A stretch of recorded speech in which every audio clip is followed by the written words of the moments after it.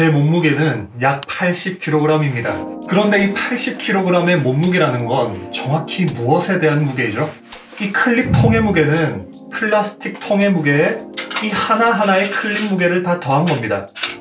마찬가지로 제 몸의 무게는 제 몸을 이루는 모든 기본 입자들 무게의 합이라고 생각하는 게 자연스러운 것 같습니다. 사람의 몸은 무엇으로 이루어져 있죠? 모든 물질은 원자로 되어 있고 사람도 예외는 아닙니다. 원자는 원자 핵과 전자로 이루어져 있는데요. 하지만 이것이 물질을 이루는 최종적인 기본 입자는 아닙니다. 전자는 더 이상 쪼갤 수 없지만 원자 핵을 이루는 양성자와 중성자는 최종적으로 쿼크라는 단위까지 쪼갤 수 있습니다. 결론적으로 전자와 쿼크가 우리 몸을 이루는 기본 입자들인 것이죠. 과학자들은 이미 여러 실험을 통해 전자와 쿼크의 무게를 알고 있고 또한 우리 몸을 이루는 원자의 종류와 그 개수, 다시 말해 전자와 쿼크의 대략적인 개수도 알고 있습니다. 정말 놀라운 사실은 그 모든 것을 고려하여 계산한 80kg의 사람을 이루는 모든 기본 입자들의 무게는 불과 900g 정도밖에 안 된다는 사실입니다. 이 중 20g이 전자, 880g이 쿼크의 질량이죠. 80kg을 기준으로 하면 0.03%가 전자, 1.1%가 쿼크의 무게입니다. 뭔가 잘못돼도 대단히 잘못됐습니다. 99%에 달하는 나머지 질량은 어디 간 거죠? 이번 영상에서 우리는 우리 몸을 무겁게 하는 이 99% 질량에 대한 정체를 찾고자 합니다. 그 답을 찾기 위해서 우리는 유럽에 있는 세상에서 가장 큰 실험실로 이동합니다. 스위스 제네바 외곽, 스위스와 프랑스의 국경이 맞닿아 있는 곳에 지구상에 존재하는 가장 큰 연구소인 유럽 입자물리 연구소 썬이 있습니다. 이곳에서는 입자들을 가속 충돌시킨 뒤 그 흔적을 추적하는 방식으로 우주의 궁극적인 물리 법칙을 찾고 있습니다. 썬에서는 그 작은 원자 수준의 입자를 가속하기 위해 막대한 에너지를 사용합니다. 이 하나의 연구소가 1년 동안 소비하는 전력량은 약 1.3 테라와트 시 그것은 30만 가구가 1년 동안 쓰는 전력보다 많은 양입니다. 하지만 그렇게 엄청난 에너지를 들이부어도 입자의 속도는 결코 빛의 속도를 넘어서지 못합니다. 예를 들어 정지 상태인 양성자 하나를 가속한다고 해보죠. 이 그래프의 X축은 양성자의 운동 에너지이고 Y축은 양성자의 속도입니다. 에너지를 점점 높이면서 가속하면 양성자의 속도는 이런 곡선 형태의 그래프를 그리는데요. 보시다시피 아무리 높은 에너지를 가해도 양성자의 속도는 결코 빛의 속도를 넘어서지 못합니다. 둘레가 27km에 달하는 이 가속기에서 기록한 양성자 최고 속도는 광속의 99.99999991%이고 이때 양성자는 가속기 둘레를 1초에 만 바퀴 이상 돌게 됩니다. 그런데 이 그래프를 가만히 살펴보면 처음에 정지 상태에서 광속의 50%까지 가속하는 데는 이만큼의 에너지가 듭니다. 그런데 똑같은 에너지를 더 들여도 입자의 속도는 광속의 65%까지밖에 못 갑니다. 속도가 빨라질수록 이런 경향은 더 두드러지는데요. 다시 말해 같은 에너지를 들여도 입자의 속도가 빠른 경우에 가속하기가 훨씬 더 어렵다는 것입니다. 이것을 개념적으로 말하자면 입자가 빠를수록 질량이 증가한다는 뜻입니다. 질량이란 건 무엇인가요? 질량이 크다는 것은 같은 힘을 들여도 그만큼 가속하기 더 어렵다는 뜻입니다. 예를 들어 쇼핑 카트는 누구나 쉽게 몰 수 있지만 똑같은 힘을 들여도 자동차를 가속하긴 힘든 이유는 자동차의 질량이 더 크기 때문이죠. 입자가 빠를수록 더 가속하기 어렵다는 것은 입자가 빠를수록 질량이 증가한다는 뜻이고 이는 곧 질량 m이 속도에 대한 함수라는 뜻입니다. 그리고 이런 속도에 대한 질량의 변화를 기술하는 수식이 바로 그 유명한 E 꼴 mc 제곱입니다. 그래프를 이렇게 돌려놓고 보면 속도에 대한 에너지를 나타내는 이 그래프가 바로 E 꼴 mc제곱인 것이죠. 여기서 m은 속도에 대한 함수이고 수학적으로는 이렇게 나타내어집니다. 학교에서는 질량 m인 입자가 속도 v로 움직일 때 그 운동 에너지는 2분의 1 mv 제곱이라고 배우잖아요. 그 그래프를 E 꼴 mc제곱과 이렇게 함께 그려놓고 보면 그것은 입자의 속도가 광속보다 매우 느릴 때만 성립합니다. 즉 학교에서 배운 2분의 1 mv 제곱은 광속보다 훨씬 느린 속도에서 근사적으로 성립하는 식이었던 것이죠. 광속은 고정된 상수이기 때문에 에너지와 질량은 정비례합니다. 즉, 이 그래프는 속도에 대한 에너지의 그래프이기도 하면서 속도에 대한 질량의 그래프이기도 한 것입니다. 좀 더 정확히 말하자면 정지했을 때는 그래프가 원점을 지나기 때문에 이것은 속도가 빨라지면서 입자가 얼마나 더 무거워졌는지를 뜻하죠. 그리고 빛의 속도에 근접하면 입자는 급격하게 무거워지는데요. 이 사실은 썬에서 입자의 궤적을 정교하게 컨트롤하는 데 있어 매우 중요한 요소입니다. 실제로 양성자가 가속될 때 그것들은 많은 수가 한꺼번에 가속되는데요. 이 과정에서 같은 양전압끼리 밀치는 힘이 발생합니다. 하지만 전자가 빨라지면서 질량이 최고 7,500배가량 증가하기 때문에 양성자들은 그 반발력을 크게 느끼지 못하면서 안정적으로 가속될 수 있는 것이죠. 이렇게 입자가 빠르게 움직이면 무거워진다는 것은 썬에서 일상적으로 확인하고 있는 사실입니다. 그리고 이것은 사라진 99%의 질량이 어떤 다른 물질 때문이 아니라 기본 입자들의 에너지 때문일 수 있다는 걸 말해줍니다. 그러니까 양성자가 가속기를 돌면서 7,500배가량 무거워지듯이 기본 입자도 그렇게 빠르게 움직이기만 한다면 100배 정도 무거워지는 건 충분히 가능한 일이죠. 그런데 여기에는 엄청난 문제점이 있습니다. 먼저 이런 질문을 드려보죠. 사람 질량 99%가 에너지라면 그 에너지의 양은 어느 정도일 것 같으신가요? 제 몸을 기준으로 계산하면 그 에너지의 양은 약 7 곱하기 10의 18승 줄. 이것은 히로시마에 떨어진 핵폭탄보다 10만 배나 더 큰 양입니다. 일단은 이렇게 안정적으로 존재하는 이 몸속 대체 어디에 그런 에너지가 있다는 건지 뭔가 이해하기 어렵습니다. 더군다나 이건 우리가 익히 알고 있는 물리 법칙에도 위배됩니다. 우리가 학교에서 배운 물리 법칙에 의하면 어떤 물체든 에너지가 낮은 방향으로 가려는 경향이 있습니다. 예를 들어 이 클립이 떨어지는 건 중력 에너지가 낮은 방향으로 가는 것이죠. 팽팽하게 부러진 풍선이 작은 자극에도 터지는 건 표면 에너지가 낮은 방향으로 가는 것이고 작은 정전기가 큰 유류 화재를 일으키는 것도 기름은 언제나 그 막대한 화학적 에너지를 방출하려 하기 때문입니다.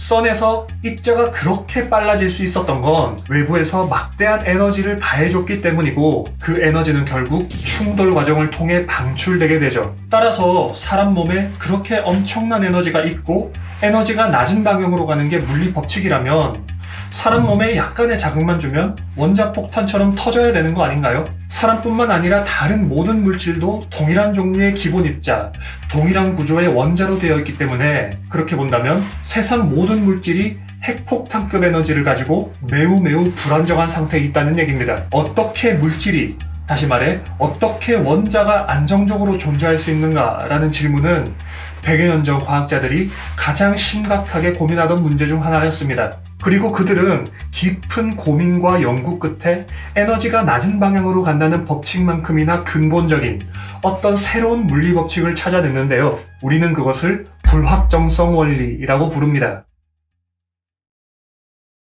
이 식이 수학적으로 어떻게 유도되었고 물리적으로는 어떤 의미를 지니는지 알기 위해서는 적지 않은 설명이 필요합니다. 분명 제 채널에서도 그런 걸 다루게 될 겁니다. 하지만 이 식을 있는 그대로 설명하고 곧바로 적용해보는 건 중학교 정도 수학으로도 충분합니다. 그 정도만 해도 우리는 물질이 그렇게 엄청난 에너지를 가지고 있기 때문에 불안정한 것이 아니라 반대로 물질이 그렇게 엄청난 에너지를 지니고 있기 때문에 안정적으로 존재할 수 있다는 다소 역설적으로 보이는 사실이 이 불확정성 원리에 있다는 걸 알게 될 겁니다. 우선 이 식의 수학적 의미는 아주 간단합니다. 식의 좌변은 위치의 불확실도를 나타내는 델타 x라는 수와 운동량의 불확실도를 나타내는 델타 p라는 이 두 숫자의 곱인데요. 이것은 밑변의 길이는 델타 x, 높이는 델타 p인 이 사각형의 넓이입니다.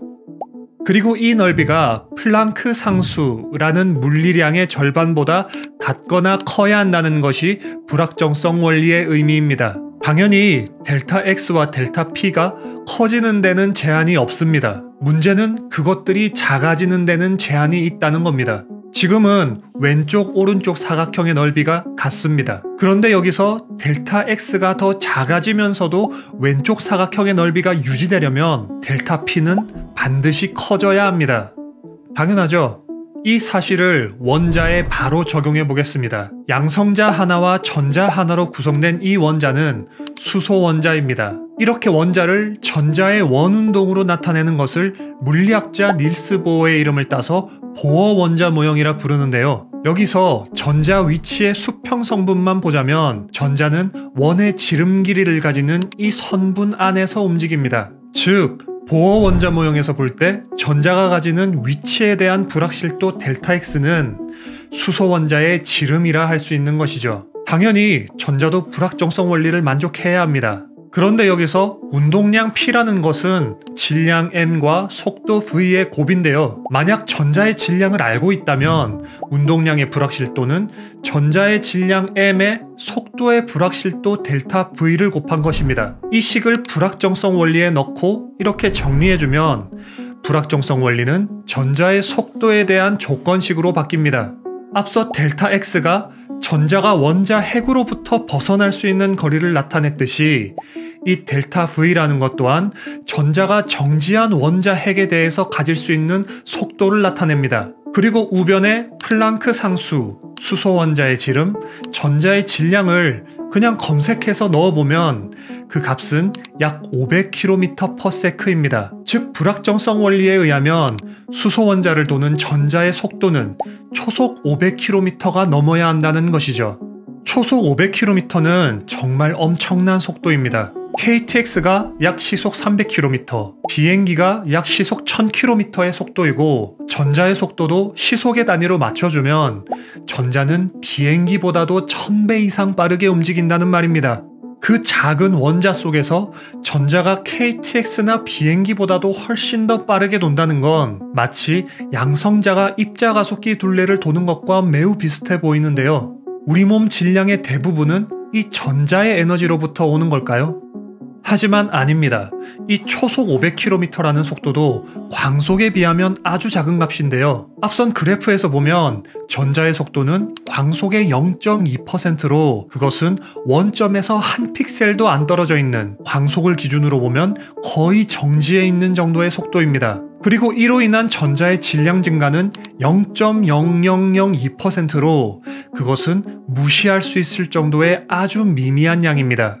우리가 주목해야 할 것은 원자 핵입니다. 보어 원자 모형에서 원자 핵은 언제나 원궤도 가운데 아주 작은 영역을 차지하고 있습니다. 그런데 사실 이것도 시각적 이해를 돕기 위해 아주 크게 그려놓은 것이고 실제 원자 핵은 전자의 궤도보다 10만 배나 더 작습니다. 실제 스케일에 맞게 그리면 아예 보이지도 않을 정도죠. 그런데 앞서 원자 핵은 쿼크라는 기본 입자들로 이루어져 있다 말씀드렸죠. 즉, 원자 핵이 그렇게 작다는 말은 쿼크가 그렇게 작은 영역 안에 존재한다는 말이고 그것은 쿼크가 가지는 위치에 대한 불확실성, 즉 쿼크에 대한 델타 X가 전자의 경우보다 훨씬 작다는 뜻입니다. 그리고 델타 X가 전자에 비해 10만 배나 더 작아지면서도 불확정성 원리가 만족되려면 쿼크의 운동량 델타 P는 그 작아진 델타 X만큼 훨씬 더 커져야 하는 것이죠. 즉, 불확정성 원리는 쿼크가 그렇게 작은 영역 안에 안정적으로 존재하기 위해서는 그 작은 델타 X에 반비례하는 대단히 큰 운동량을 가져야만 한다는 걸 말해줍니다. 그리고 실제로 쿼크는 그 작은 핵 속에서 미친 듯이 움직이고 있습니다. 앞서 전자에 대해 했던 것처럼 핵의 크기와 쿼크의 질량을 검색해서 그것들의 속도를 계산해 보면 쿼크의 속도는 광속의 99.9%가 넘습니다.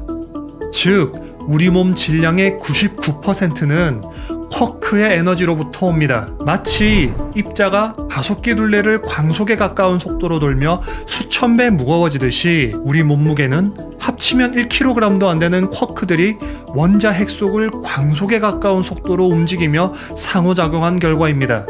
불확정성 원리는 쿼크가 그 작은 핵 속에 안정적으로 존재하기 위해서는 필연적으로 엄청난 운동량이 필요하다는 사실을 말해주고 E 꼴 mc 제곱은 그 엄청난 에너지가 원자 핵을 100배 가까이 무겁게 한다는 사실을 말해주죠.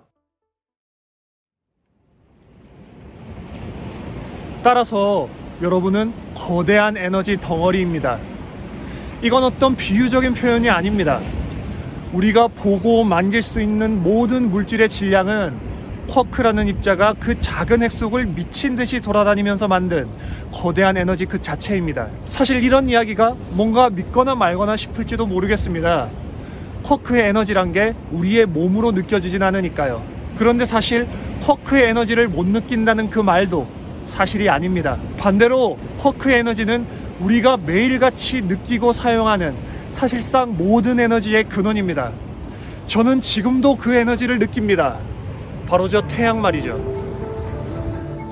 태양의 에너지는 4개의 수소가 만나 하나의 헬륨이 만들어지는 핵융합 반응에서 나옵니다. 이 과정에서 수소의 핵은 엄청난 에너지를 방출하면서 보다 안정된 상태가 되는데요. 핵의 에너지가 방출되었다는 것은 곧 질량이 줄어들었다는 것을 의미합니다. 즉, 태양의 에너지가 바로 쿼크의 에너지인 것입니다. 식물들은 그 에너지를 광합성이라는 과정을 통해 화학적으로 저장하고 인간을 비롯한 동물들은 식물이 저장한 그 에너지를 먹고 살아갑니다. 그야말로 지구상의 거의 모든 생명이 태양의 에너지로 살아가는 것이죠. 제가 거의라는 말을 쓴 건 태양 에너지가 닿지 않는 곳, 예를 들어 태양이 닿지 않는 깊은 바닷속에도 생명체가 살고 있기 때문입니다. 심해 생명체의 주 에너지원은 지구 내부에서 발생하는 열입니다. 여러분 혹시 지구 내부가 어떻게 45억 년이 넘도록 식지 않는지 궁금하신 적 없나요? 지구를 식지 않게 하는 그 에너지도 역시